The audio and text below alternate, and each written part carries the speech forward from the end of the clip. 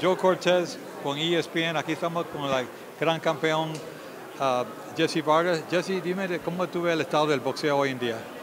Bueno, Joe, es un gusto estar aquí hablando contigo. Y el estado del boxeo, pues lo vemos muy bien, ¿no? Toda la gente que salió para este evento es, algo muy bonito. Todas las estrellas, en los peleadores que vinieron, que atendieron aquí en, la, el Salón de la Fama de Nevada, es algo muy bonito. Y pues el estado de boxeo, andamos fuerte, ¿no? Seguimos fuerte como siempre. La, la última pelea tuya contra Timothy Bradley el mes pasado, yo sé que hubo una, unas situaciones ahí en esa pelea. Dime de esta pelea, un poco de esta pelea. Sí, pues nunca, no estaba contento con los resultados. Yo pienso que muchos no estábamos contentos con cómo terminó. Una pelea siempre se debe terminar, cada segundo de, del round debe terminar peleando uno como peleador, debe tener esa oportunidad. Y uh, pues a mí no me dejaron, ¿no? No me dejaron terminar, pero hey, así pasa y uno sigue para adelante y, y sigue fuerte. Seguimos más fuerte que nunca. ¿No, ¿No hay revancha en esa pelea? Pues sí, es lo que estamos pidiendo. Uh, él me dio su palabra como hombre que me iba a dar la revancha y ojalá y sí me la dé, ¿no? Sí, sí, sí. Ahora, ¿cómo tú ves el estado del boxeo, sobre, especialmente con la pelea que viene ahora de Miguel Cotto contra Canelo Álvarez en noviembre? Es una pelea muy interesante. Yo pienso que todo el mundo no se la van a perder.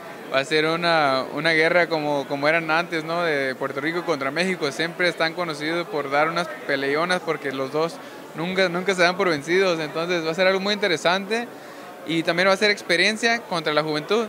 Y vamos a ver quién, quién gana. ¿Y quién tú crees que gana? Para ti, ¿quién gana?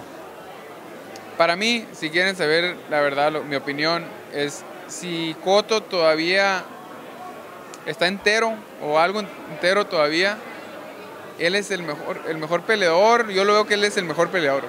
Pero la juventud que tiene Canelo, la fuerza también es algo muy peligroso, entonces no se sabe, no se sabe la verdad. La pelea entre Abner Mares contra Leo Santa Cruz, eh, ahora septiembre 29. Otra pregunta muy fuerte, muy dura.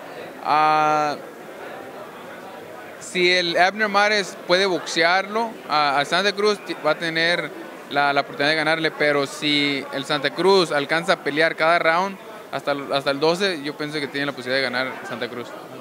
Dice que si, si Abner Mares de boxea, tú dices boxear afuera porque Leo Santa Cruz es alto. Tiene, alto, sí, y, tiene que boxearlo, usar la rapidez, entrar a salir. Yo sé que está más chico, pero tiene que buscar la manera cómo hacerlo, usar los ángulos, porque el Santa Cruz sabe pelear muy bien a la, a la, corta distancia y a la media. A lo largo como que le da un poquito de problema. Bien, ah, el escucharon de Jesse Vargas aquí en Las Vegas, el Salón de la Fama.